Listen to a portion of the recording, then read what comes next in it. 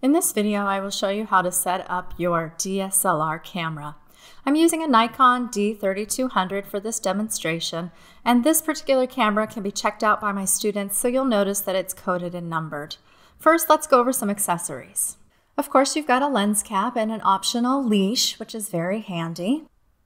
This lens here is an optional UV protector and it will block ultraviolet rays. Most photographers use them to protect the lens itself since the UV protector is very inexpensive to replace.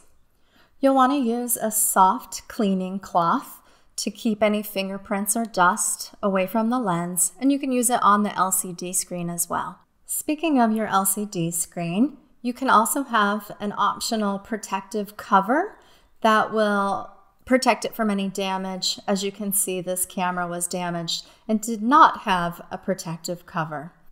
That being said, those are also very, very inexpensive, can save a lot of money so that you don't have to replace the entire screen of the camera.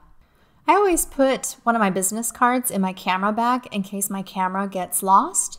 And you don't want to put any personal information in it, of course, but we have had bus drivers, Uber drivers, taxi drivers, and such return cameras to our school. So it's well worth it to take a moment and put some non personal contact information in your bag. You'll need an SD card to save your files to, so you push it in to eject it, and then push it back in and feel it click. You'll have a battery for the camera and you might have a little tab that you need to push over to eject the battery and then push it back into place to feel the click and know it's secure. Your battery charger might look something like this and you just want to make sure you're matching up metal to metal as you slide the battery into the charger and make sure it is also secure. After you plug it in, you'll check the indicator light to make sure that it is charging and you don't want your battery to die on you. Next, we'll talk about taking care of your camera. Your camera should have a neck strap that you definitely want to use, and make sure you're using two hands to hold the camera while you're taking pictures. A padded camera bag is the best place to store your camera. You definitely don't want to leave it on the edge of a tabletop or on the floor. I have seen them get stepped on before. Also, keep your camera away from things like sand, liquid, and humidity. When you go to clean your camera, you don't want to use your t-shirt, napkins, or paper towels. Use a soft cloth that is made for that purpose.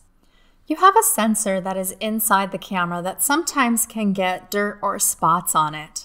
However, this sensor is very, very sensitive. So you want to make sure you know what you're doing if you're going to remove your lens. There are different tools that you can use to help blow away dust and debris, but I would leave it to a professional if it needs to be taken care of more than what you can simply do with air. Also, cameras these days have self cleaning sensor features within their menus, so I would take a look at that step before diving into cleaning the sensor manually. We've got an auto setting that is fantastic for beginning photographers just starting out with a new camera. If you have a different brand of a camera, a Canon for instance, these advanced manual features here might be labeled differently. Down here, we've got a lot of fun presets to play with. You can turn off the flash or turn it onto portrait mode or landscape. You've got child mode and sports and macro mode, a great mode for taking pictures of things like bugs and flowers. And also this mode if you have backlighting, meaning that the light source is behind your subject matter. But for now, I'll keep it on auto. On the lens itself, we've got the option of changing from autofocus to manual focus. Beginners should keep it on autofocus. This lens has a vibration reduction feature. You'll want that on for nice sharp pictures. Now setting up the camera through the menu, one of the first things that you'll want to check is to make sure the date and time are correct. So you'll scroll down to find some indication of where you will set the date and time for your specific camera. Then you'll want to choose the image quality that is right for you. Most cameras will let you choose between JPEG and RAW files. JPEG normal is perfect for beginners. It will save your image as a smaller file size and JPEG works on lots of different formats. Finally, I suggest you format your memory card, also called the SD card, especially if it's a brand new card or it's a card that's been used by somebody before. This will delete all of the images on that card and it will set up a file folder that's specific to this camera.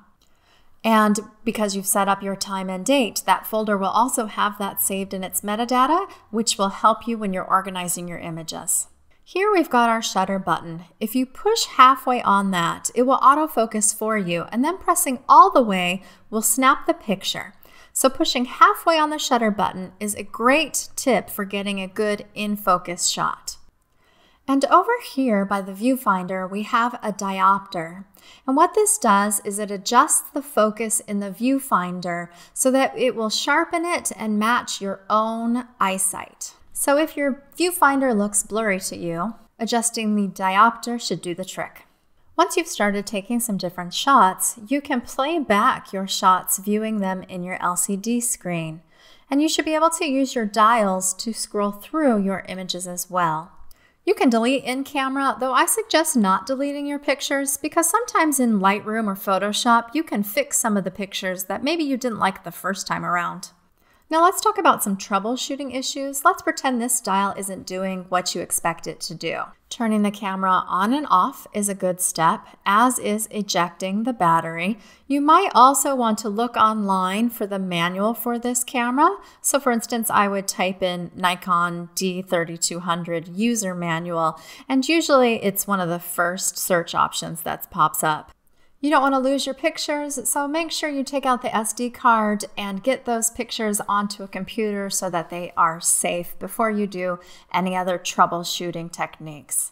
If you're one of my students borrowing a camera, it will be logged into the computer system under your ID number, and you'll let me know if any of these accessories are broken or go missing. The lens cap leash is probably the number one thing that breaks, and we just glue it back on. Since it's checked out under you, you do become financially responsible for it. You don't want to share this camera with somebody else. If you wanted to switch the camera, you need to check it back in and then someone else would check it back out after you. All the equipment is numbered, so if your camera number 23, you'll use battery number 23, charger 23, etc. So that is how you set up your camera, and now you are ready to go out and take some shots.